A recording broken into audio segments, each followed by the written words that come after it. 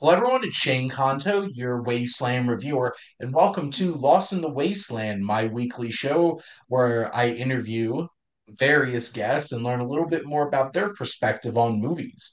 And joining me for this week is podcaster Matt Genovese. Thank you so much for coming on. Thank you so much for the opportunity. I'm really excited to chat with you today. Awesome. So, Matt, before we jump into the questions, we love shameless plugs here on Lost in the Wasteland. So, what would you like to shamelessly plug for everybody? So, as you mentioned, I do have a podcast. It's called Mhm, Cool, Epic, Awesome Podcast. I do it bi bi-weekly with my brother, and I mhm, kind of see it as like a book club for movies. We mhm, take turns recommending a movie to watch every two mhm. weeks, and then we tell the audience, you know, go watch the movie, come back, and we'll all a discussion about it. We have, you know, Q&A segments, stuff like that. But I've been doing it for a little over two years, and, and I love doing it. So yeah, Hey, it sounds like a great way to flex your love for movies. And I myself have a movie club with some of my friends on my channel, and it's nice to be able to find some community around watching a film and being a ch getting a chance to chat about it. So that's pretty awesome. Yeah, definitely. I agree with you. I feel like that's such a big part of film in general is that discussion after the fact, because Mhm. some points of film might just get lost in, you know, you just not picking up on something that a friend might, Yeah. and having that discussion, I think, is really important. I uh I don't know if it's similar in New York land, but Jersey thing is you go see a movie with a group of people and go to a diner afterwards. That's like movie watching and chatting about it afterwards. So, Yeah, but I always prefer people like to say, you know, a date and a movie. I, f I feel like a movie and a date is better because why don't you go to dinner after so you have something to talk about, you know? there you go. Also, movies aren't the greatest date. It's like if you're actually trying to get to know somebody, you're literally sitting there in silence, unless you're a jerk and you talk Yeah. movie. And don't try that at Alamo Drafthouse. Oh Uh, yeah. they'll actually do something about it, like a lot of theaters. But also nice that you have that show with your brother. I I have sporadically done things on my channel with my brother. Um, he's not always the best at committing to things, so usually it's like a couple of episodes of something and then it just trails off. But you know, that's awesome. Yeah, no, I get it. I get it. you and your brother get to have that. But let's get started with everybody's favorite question to be asked who loves movies. What's your favorite film, Matt? So anyone that knows me and knows my film taste will know that my favorite movie and what I think is the best sci-fi movie of all time is Mm, Arrival, directed by Denis Villeneuve, who's mhm. obviously fa more famous now for Dune Part One and Two. Um, I just I love sci-fi. Uh, it's one of those movies that I can watch as this big spectacle, but it's also very personal in its Mhm. messaging. Like, yeah, the aliens are awesome, they're cool looking, but then when you get the twist and you start to think about what it all actually means, it just hits a lot harder for me. And I've always loved that movie. So It's a very rich film about communication and a deeply human story with also, you know, giant, strange, mysterious aliens that make strange language. Um, and Amy Adams is fantastic. And I remember seeing that. That was actually a great moment of when to go see a movie and then went to a pizzeria afterwards and talked about it. Um, when I got to see that when that came out. But yeah, Denis Villeneuve's definitely at that point where it's like one of the best sci-fi directors out there between this and Blade Runner, and then two Dune movies and a third one coming out now. So, but yeah, yeah, Arrival is a really special film, and wish it got a little bit more love. And I thought that might have been the movie where Amy Adams actually won an Oscar. But I know, know. Yeah, you brought up her performance. I was going to say that's one of the biggest Oscar snubs in recent memory. I don't think she was even nominated, right? Was she? trying to remember because that was that was La La Land year, Yeah. right? So Emma Stone won for that um back in 2016. That that was one of those things where it's just like La La Land's gonna come in and sweep the world at the Oscars, except that it didn't win Best Picture and had one of the most awkward moments of Yeah. They had a uh fake one. that just set the tone for years. The Oscars have had some really awkward moments recently, but Arrival was a special film, and I feel like it's one of those films that's definitely gotten a lot more popularity since then. I think a lot of people have circled around to it since then, which is a good thing. Yeah, and it's it's one that I didn't discover until like a couple years after it released because I only really got into movies like freshman sophomore year of college. So I'm Mhm. 23 now. So yeah, talking when I was like 19, 20. So that was like, you know, um, I don't know. I just like 2016 was a little bit too early for me to be hmm going to the theater as much as I am now and keeping up with Well, probably Arrival wouldn't have been a film that really struck a chord in terms of probably how old you were at the time, but I think I was, what was I, 25 when Arrival came out. And I was deep into my love of film. And actually, 2016 was when I started my YouTube channel. So at some points, like that was probably one of my earliest videos that I did. But speaking of like going back, Matt, what's your earliest memory of going to the movies? So for me, I feel like a lot of my earlier memories were animated films. Specifically, Makes I wanna I wanna say I remember Toy Story 3 in hmm 2010. I for some reason my family and all my my mom's sisters and brothers and all their kids, so all my cousins, we all went to see that movie t- together. And there's that scene at the end where, you know, all the toys, you think that they're gonna meet their end. And I Yep. just I have a memory of seeing like the adults were crying. And I was like, oh, that's like a memory that always sticks out to me. Yeah, I distinctly remember because I was graduating high school. I graduated high school that month that Toy Story 3 came out. So that like really struck a chord with me. And yeah, that made a lot of adults cry. Toy Story 3 twice. Because one, you had the furnace scene, and then you're like, oh, we got through it. And then it's like, it's toys, and you're just like, Yeah. you got me again. Uh, what a But what a special film starring a Nazi fascist pink teddy bear, Lotso Huggenbear. yeah. And then just to toss in another one really Yeah. quick. I do I don't know if you ever did this as a kid. I don't know if it was like a thing, but I was sometimes would go on class trips for my school and they would take us to see a movie. So I hmm remember seeing it had to be like the second or third Pirates of the Caribbean, but I just remember having a blast in the theater because, you know, it's a bunch of whatever we were like fourth graders and everyone's, you know, cheering for hmm whatever was going on. I remember going to a couple of those, but definitely Pirates was one that I remember. I had the weirdest class trip experience in sixth grade. They took us to see the movie Proof from math class because you know they thought it was going to be about math, but it was just de- like Gwyneth Paltrow dealing with depression and her dad Anthony Hopkins having Alzheimer's, and there's a bunch of sixth graders being like, "What are we watching?" Yeah. it's like they're I've never actually seen that. And from what I recall, being a sixth grader I didn't like it very much. But we did see Chronicles of Narnia when that came out Oh yeah. um, around the same time, and that was that was much more appropriate for a bunch of middle Yeah. schoolers to go see. So yeah, field trips to go see movies always a very interesting interesting decision. Now, Matt, do you have a particular favorite genre of movies? So I, I mentioned sci-fi a little before, Yeah. but my real love is horror. Oh. particularly slash, it's particularly slasher.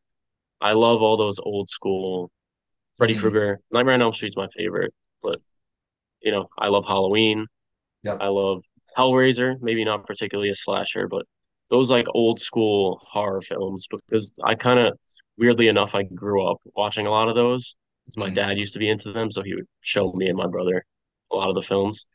Yeah, I still love a good slasher now, although they don't seem to be as common as they were back then. A lot of horror now, people say like, you know, the A24 horror, Yep. like elevated horror, which I still like, Blumhouse but Blumhouse is much more of like the pulpy kind of slasher horror stuff. And you got stuff like Megan, Slasher Doll, and Which stuff I like that. which I loved. I love Megan. Oh my God, that movie had no right to be as good as it was coming out the first weekend of January. I know. Such a random date. because you know January is just like breeding ground for trash, and Yeah, then they Megan just comes throw up. out. Yeah. Yeah, the, the horror the Blumhouse horror this January was uh Night Swim. Probably one Mhm. of the worst movies of the year, I would say. Uh, I'm just haunted pool, and I'm I'm sure the short film that it was based off of was indeed creepy. It didn't work as a full movie, especially how they made it. But no, um, my brother is super into slasher films, and he would watch Friday the 13th, Halloween, Nightmare on Elm Street, and Scream over and over and over and over and over again, like all of them. And I've probably like tangentially watched almost every single one of them just from like my brother watching them. But I have been getting around to actually like checking out because like the original Halloween is one of my favorite horror films of all time, John Carpenter. Mm, And just Freddy Krueger's iconic and Wes Craven with what he did with Nightmare on Elm Street and then Scream is great. I remember new um Wes Craven's New Nightmare scared the yeah. crap out of me when I was a kid. But um it's been an interesting year for horror, especially I I literally as we're recording this got done watching Oddity. I had a press screening for link for that and Ooh, it was killed me to the bone. It scared the crap out of me just sitting in my recliner in my living room. Yeah. And between that, I can't wait for Longlegs and the new um Quiet Place and Late Night with the Devil. Like it's been a really good year for horror films so far. So Yeah. Honestly, a film that shocked me that I expected nothing, The First Omen. I don't know if you if you got around to seeing that. It's one of the I scariest movies I've seen in a while. I was I randomly saw that on a Thursday opening night at a Regal near me, and I was one of two people in a 300 seat theater, which was not good because Yeah. then all you do is sitting there and you're just like, anything can happen. That movie it was so much scarier than I thought it was going to be. And um, uh, what's her? I I know she has three names and I get them all mixed up. Tiger now. she is so good. Tiger Free, something like Yeah, that. Yeah. she is so good because like I watched all the Servant and loved her in that. And yeah, the first Omen's one of the most surprising movies of this year. I'm like, I thought it was gonna be trash. Yeah. Um, a prequel to the Omen, like decades later, that just screams like cash grab, and then Yep. didn't make any money, but then it was actually good, which that's kind of sad. But no, Yeah, but you see that more and more nowadays. Just, mhm, you know. I and uh, saying that, I'm also like a big fan of Marvel and superhero stuff. mhm. So, and I know those make the most money and aren't necessarily the best put together films, but it is kind of sad when you see so much effort, like Furiosa, we just saw, mhm. like incredible filmmaking that just goes to the wayside because people just don't care. and it's a it's a weird sell if you couldn't tell from all of my branding, I'm a humongous Mad Max fan. And it's just like a two and a half hour prequel to a character from a movie that barely made a profit to begin with. Um, it's hard sell. But you know Yeah, what?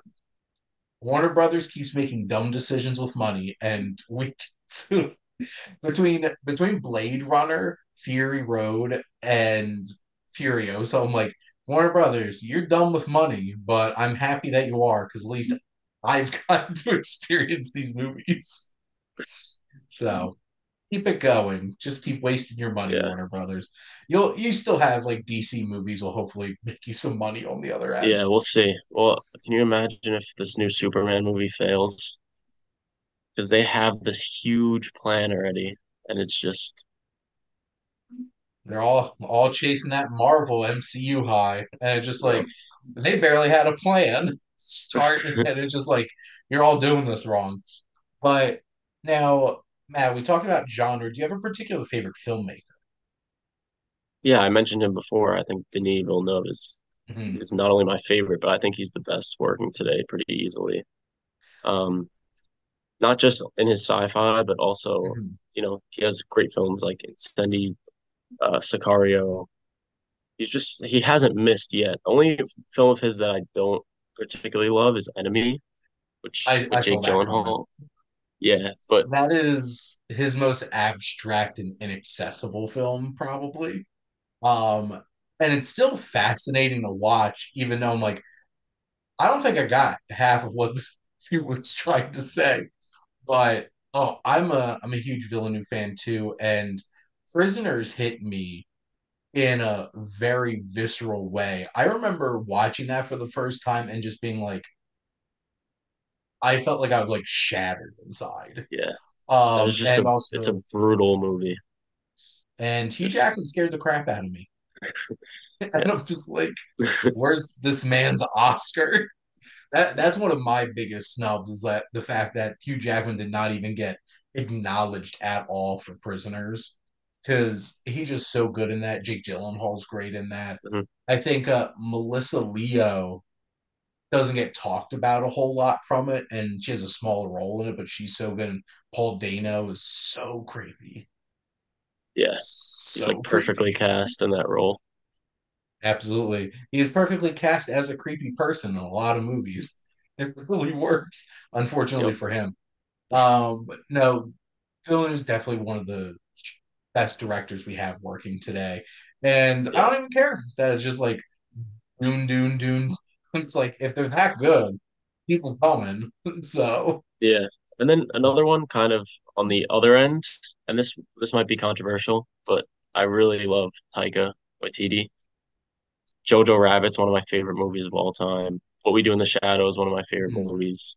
He hasn't been as great recently, but I don't understand how people so quickly were just like, we hate you. And just like, like it wasn't that long ago that like Ragnarok and yeah, Jojo Rabbit came out, and it was just like COVID happened, and then Taika Waititi became like em- enemy number one.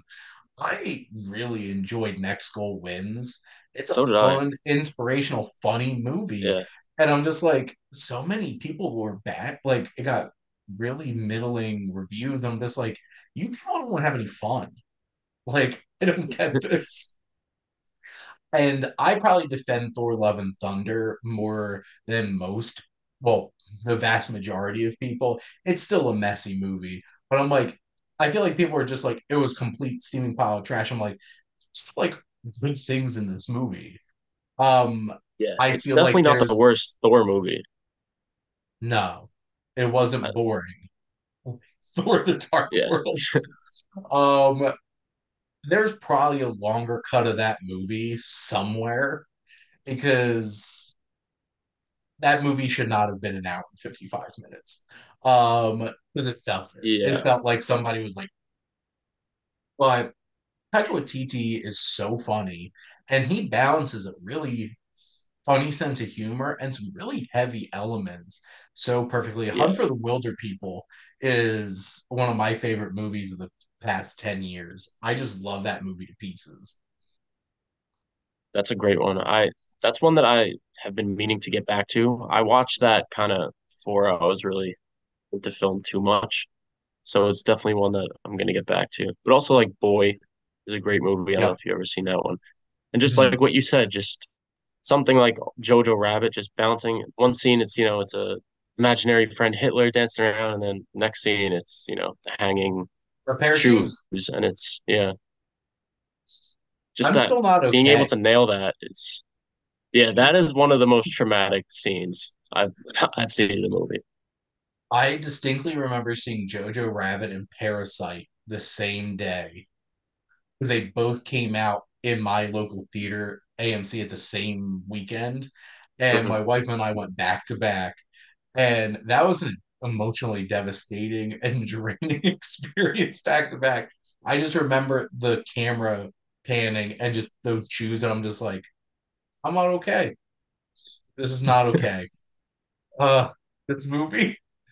And Jojo Rabbit was my favorite movie from 2019. Um, that's probably a hot take for a lot of people because like that was a stacked year for movies. I'm assuming most people have Parasite at number one there. Um, Now, thinking about in front of the camera, who are some of your favorite actors, actresses? So the one that comes to mind for me is Joaquin Phoenix. He's another one that Mhm. I think he's the best working actor today, in my opinion. He's just so versatile, and you could he just buys into his roles so much. He completely Mhm. transforms into his character.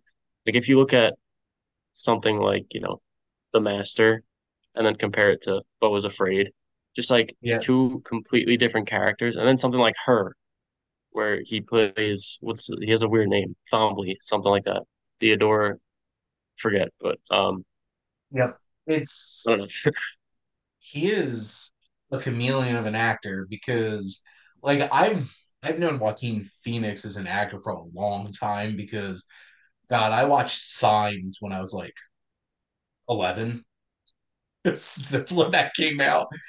Yeah. And that scared the shit out of me as a kid. But like he was really good in that with Mel Gibson and then Gladiator, of hmm course. And he he is such a shit.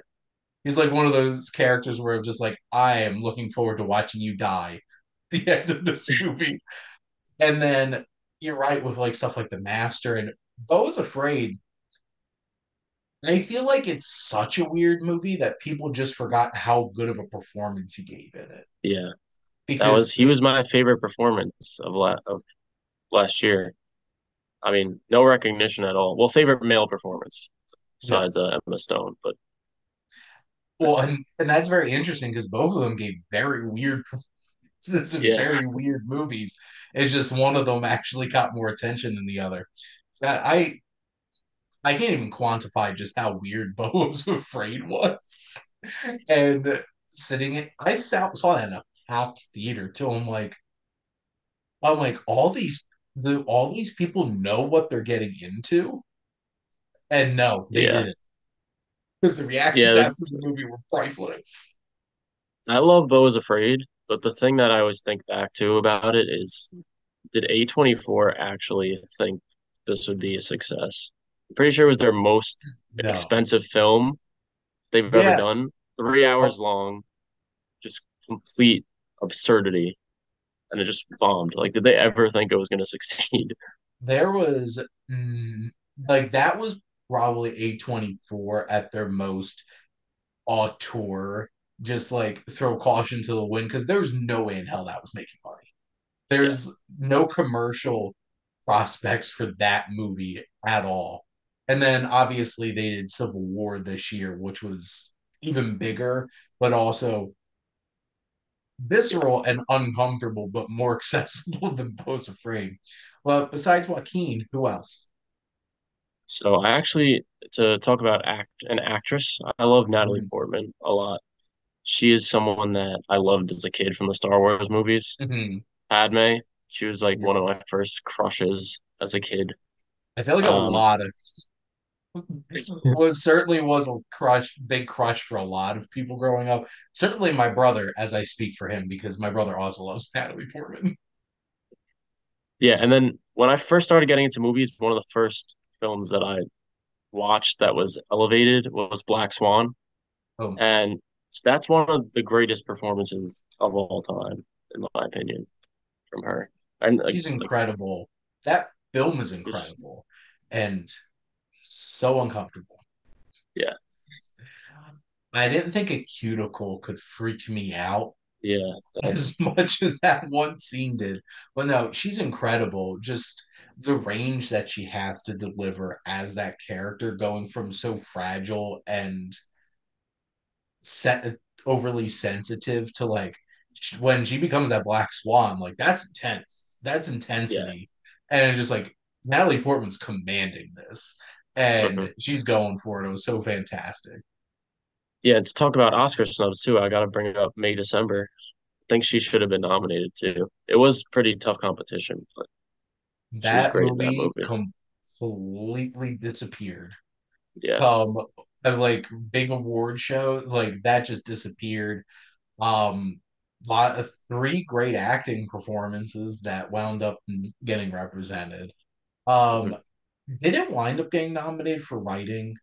I'm trying to remember. I I feel like it got like one nomination, I th I don't know if it did at the I feel like it might have at the Golden Globes because Mhm. they have the more they separate it by genre, so you're more likely to. I don't know if it was Oscar nominated, but I don't think so. It probably got nominated for comedy too.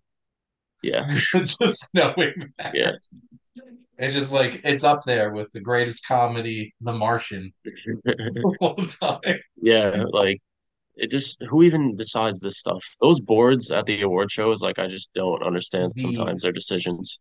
the Hollywood Foreign Press Association is a weird ass group of people that make no sense uh, for the Golden Yeah, Globes.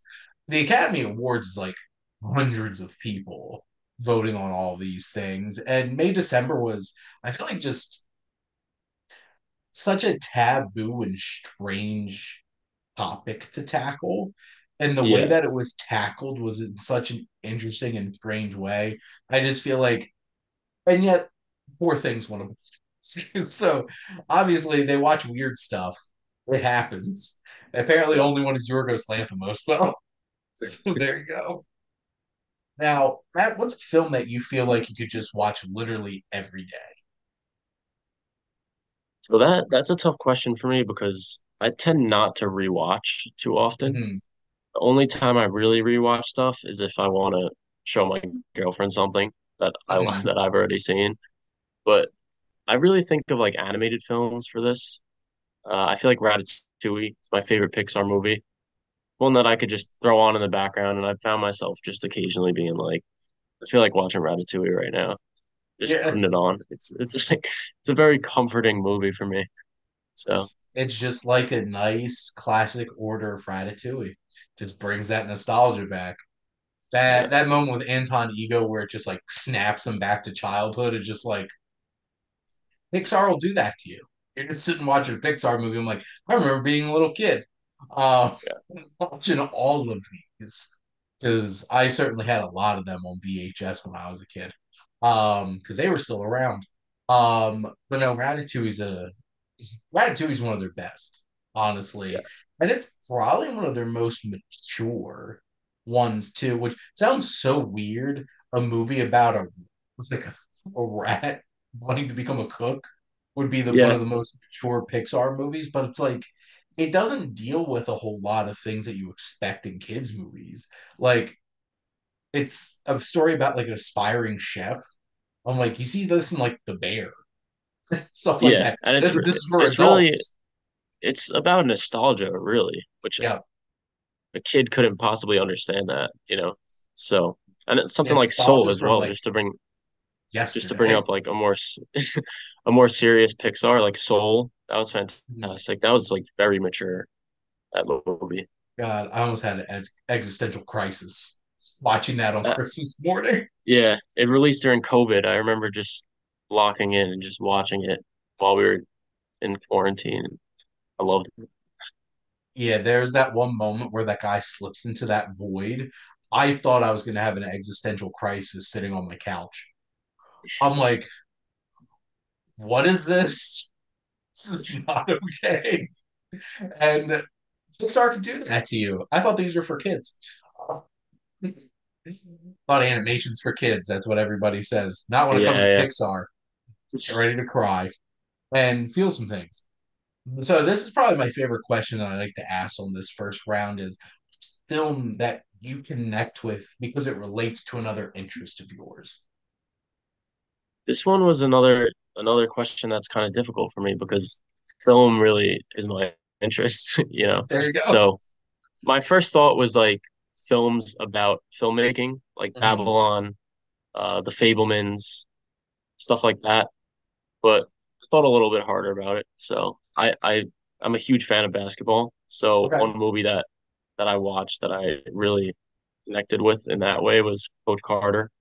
Just having that high school basketball experience and a great underrated performance by Samuel L. Jackson. I didn't. Mhm. It's like a very different role for him, more stoic in a way compared to like his usual.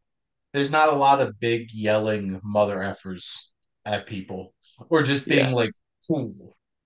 And that that was a great era for inspiring sports movies between that like I literally just re-watched Remember the Titans today hmm and like Denzel Washington in that, Samuel L. Jackson, Coach Carter. It's like those kind of sports movies can really hit that um that chord of inspiring and Coach Carter is definitely one of those films that's a very inspiring film. So, and I'm also a big I'm a big sports fan. I love baseball. I love baseball movies. And when like you're a sports fan and like they do your sport right in a Yeah, movie, it's special. yeah. That's a big problem. I feel like, especially with basketball, there's a famous clip from Amazing Spider-Man. I don't know if you know Mhm. what I'm referring to or not, but it's just like the most weak shot attempt ever that just gets completely denied, and you're like, there's no way these filmmakers have ever touched a basketball in their life. Honestly, baseball is probably one of the best sports for movie making. And there's been so many great baseball movies.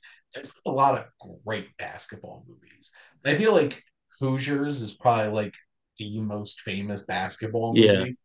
And like that's almost like oh, it's not almost that is 40 years old, isn't it? so like it's been decades. And I enjoyed Hustle, the new Adam Sandler movie, yeah, I liked was Hustle too. that was more of like the behind the scenes kind of Yeah, stuff than the actual game. Uh, the first Slam Dunk, honestly, that new anime that came out last year was probably the coolest basketball movie I've ever seen. So, yeah. I think my brother's into it. anime. I think he watched that. Said it was good. Oh, it was one of the most exhilarating sports movies I've ever watched. And, you know, this year turned out to have one of the most crazy, like most unexpected sports movies and challengers. I'm like, I've Yeah, never been that exhilarated watching tennis in my whole entire life. So you'll yeah, you'll never get that excitement from watching a match. no, it's with Guadagnino, something special. Um, he loves tennis, obviously. Now, who's a movie character, Matt, that you feel like you connect with on a personal level? Uh, one that comes to mind for for this is uh, Sunny Suljic's character Stevie from mid '90s. And I feel like not not like who I am now, but I connected with him, like seeing myself in him as a kid, sort of like you know doing the wrong things to impress people and falling in with the wrong crowds and being conflicted in that area of life. I really like really connected deeply with his character in that movie. And that was also one of the movies that really got me into film to begin with. Mhm. It was one of the first films that I saw that I was like, wow, you know, this is what good filmmaking is. So it's like you had that moment where you're like, this is cinema. You had the yeah, Scorsese moment. Uh, it's I remember when that came out, and I had a very visceral reaction to mid '90s being a period piece. Um, and just being like, now I'm feeling old that they're making this making nostalgic period pieces about the mid '90s. I'm like, oh my god, I grew up in the mid '90s, and like also like the fact that like Jonah Hill made that. I'm like, yeah, okay, Jonah Hill, and it's definitely one of those films that really captures that experience growing up and being a kid.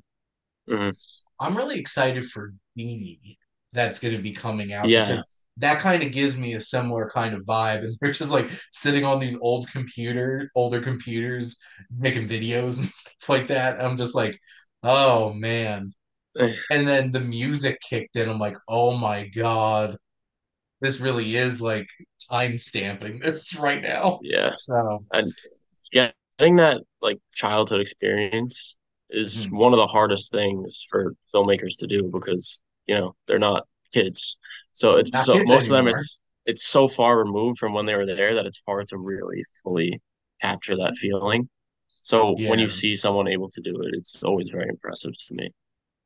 absolutely. Now, what's a film that you love, Matt, that you think would surprise people? All right, so I actually do like the occasional rom-com. Okay. Um, I'm a big 500 Days of Summer fan. Okay. I love that movie. Um, but I feel like saying the rom-coms is a bit of a basic answer, so I'm gonna give you another one. And I was reminded of this actually last night because I watched that Jim Henson documentary, hmm and The Muppets movie. I love the Muppets. I'm a big fan of the Muppets great. Yeah. Uh, not only the original Muppets movie, but also the the newer one with Amy Adams. Both great Mhm. movies.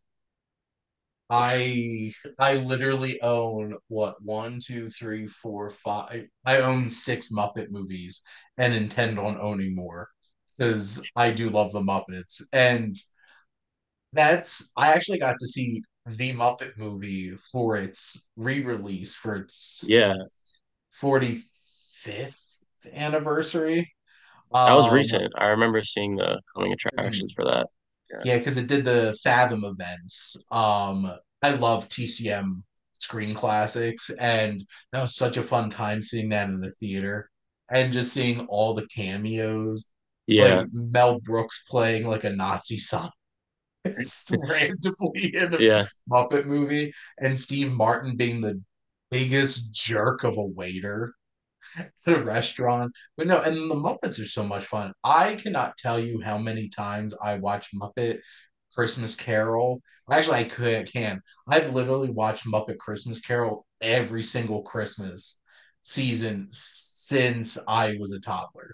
So I have legitimately watched that movie 30 times in my life. Wow. And Yeah. I listen to the music casually on Spotify. I Muppet mean, Treasure Island's up there too. yeah, they Rainbow Connection is probably one of the, the best songs from a movie. Yep. Also, even Man or a Muppet from the most recent one. Great So song. My mind was blown when I found out that Bret McKenzie of Flight of the Conchords wrote all the music for that Muppet movie. And then I'm like, this is why this music's so good. And it's so funny. Because like Man or Muppet is like just peak Yeah. music for a movie. And even the rap that Chris Cooper does is hilarious and so unexpected. Um, also, one of the funniest gags in the history of a movie is the fact that he can't actually laugh. So he just says maniacal laugh, maniacal laugh. And I'm just like, they could only get away with this in a Muppet movie, and this Yeah. thing ever. So yes, I also love the Muppets, so I appreciate that. But also, 500 Days of Summer, that's a very interesting film because I feel like the perspective on it really changes with you as you get older. Because I remember a lot of people being like seeing themselves a lot in Joseph Gordon-Levitt's character and being like, hmm. "Wow, Summer was a jerk," and then it's like you watch it as you get older and you're just like, "Oh, he just wasn't that into him. He just would not let it go." Yeah. It depends. It depends. You can like pull from your real life of which of the two characters yeah, you're relating to in that moment. Because I think that movie is really framed with him as the villain, you know. But if you're maybe maybe you just got your heart broken by a girl, you might see yourself a little bit in him. yeah, And the film throws you for a loop because like you have like the fun romantic, like the whole sing and dance number to Hall and Oates. And like Hmm. that's so much fun. And then you strip it all away and you're just like, oh crap, like this dude just will not let this shirt go. And yeah, it's a, it's an interesting film and it's like the anti rom com. It's just like it yeah, tricks you into thinking it's a rom com, and then you realize no, actually, it's really it's a movie. yeah. But Honestly, one of my favorite scenes in any movie is the expectation versus reality scene in that movie. Just so perfectly well like displayed, like the visual storytelling of it. And it's just like that's exactly what we do before we're going into a situation of oh, this is how everything's gonna go. It's gonna be so perfect, this and that. And doesn't it's go. never like that. It's Yeah. never like that. Another question for you: How how well versed are you in Woody Allen movies? I've seen a couple. What's the one with Owen Wilson, Midnight in Oh, Paris? Midnight in Paris. Have you seen Annie Hall? Would recommend because Marc Webb obviously watched Annie Hall and had some influence there. So I find I I'll find it interesting to hear what you say when you wind up watching that because that's definitely where he got that vibe from. because there's a scene in that too where it's just like, and God, Woody Allen's so awkward and weird. Yeah. And it's so uncomfortable and cringy. Like some uh that kind of scene that plays out in that. But man, I have one last question for you. What do you love most about movies? Well, the first thing that comes to mind is the theater experience. Mhm. I've had some amazing experiences in the theaters, especially for these big, like I've talked about Marvel, like these ensemble films. I remember seeing Avengers Endgame with my dad. There were people jumping and screaming and just like the complete euphoria and joy of a of this big crowd of people watching a movie. Um, there's that end of the spectrum of theater experience, and then there's the other end, which is also great, which is you know something like Dune 2 in IMAX, where it's like a Yes. complete just getting sucked into this world and just being able to you know escape reality for a little bit. And that's another thing that I love about films. I talked about how I, my two favorite genres are sci-fi and horror, and they're the least like our reality. Yeah. You know, I like I like being able to see things on screen that you don't see in real life. I like, like Mhm. seeing big alien invasions and superheroes and things like that. So Yeah, I 100% can relate to the movie theater going experience. And more and more, I wind up seeing movies completely alone in a theater, and it makes me sad. Now, don't Um, be sad. I, I've done that plenty of times. Sometimes my best experiences. it makes me sad that there's not more people going out to the movies and seeing movies. Sometimes it is really nice to just have to to yourself because sometimes people Yeah. could be horrible and don't want to watch a movie with them.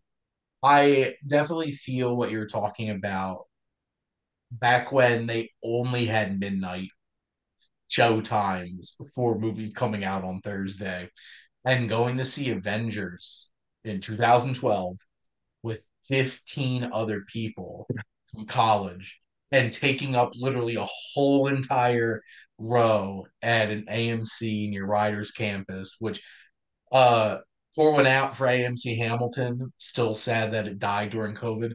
Um, and just that experience of sitting there. I didn't even hear the puny god line from Hulk after he ragdolled Loki because everybody was laughing and cheering so loud. Yeah. Um, I the way that you could hear a pin drop at the end of Avengers Infinity War was something else.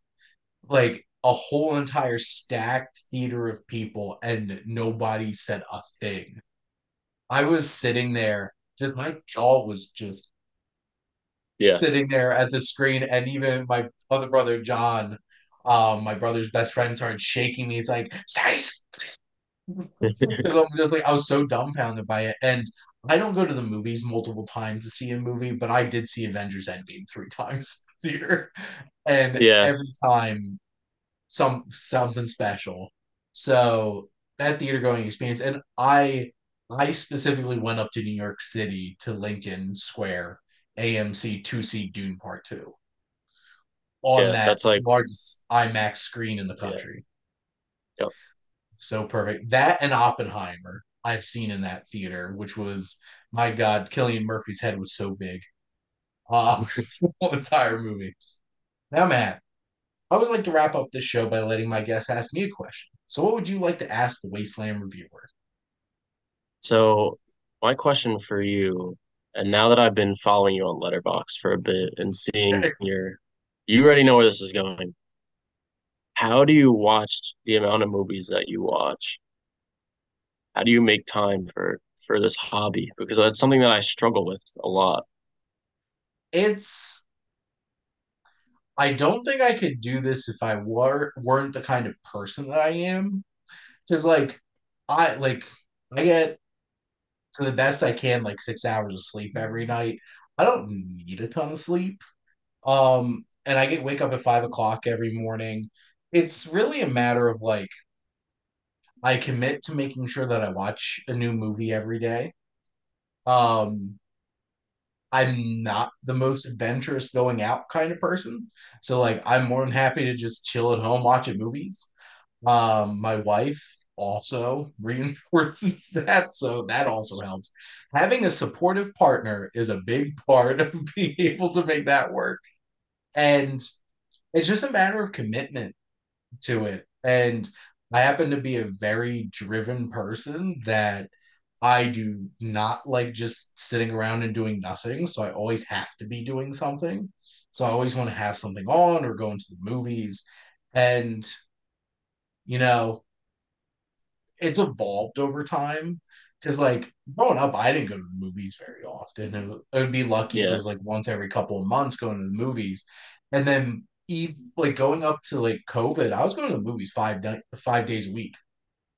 Um, and then post COVID, it's I feel very lucky that I get a lot of press screening links and stuff like that, which also yeah, helps.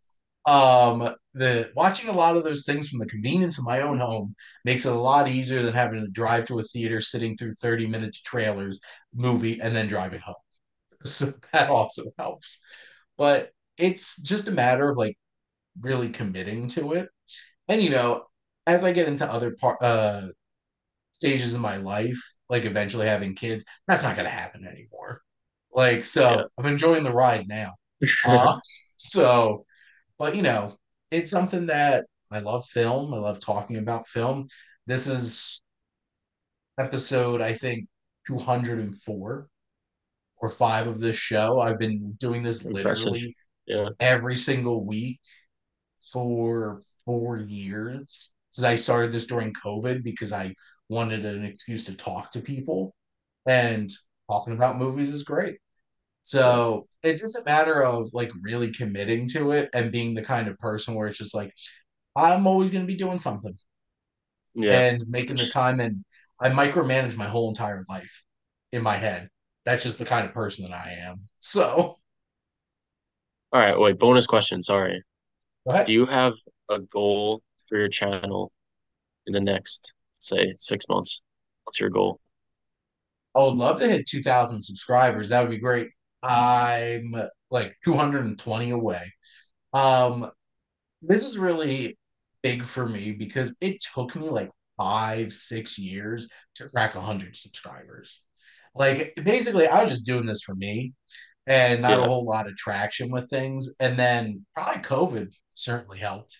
Um, people being trapped at home and stuff like that. mm, Um, I want to keep these shows going. Um, My favorite show that I do is my Welcome to the Wasteland, where I take a deep dive into a particular director. And in six months, I'll finally be done this 80 week journey of John Ford, and I can finally move on to somebody else. Which there's been a lot of films that I've loved from John Ford, but I am all John Ford out. It just, it's been a lot. And I'll be Yeah, starting Wes Anderson in January, and he's one of my favorite directors. So that'll be fun.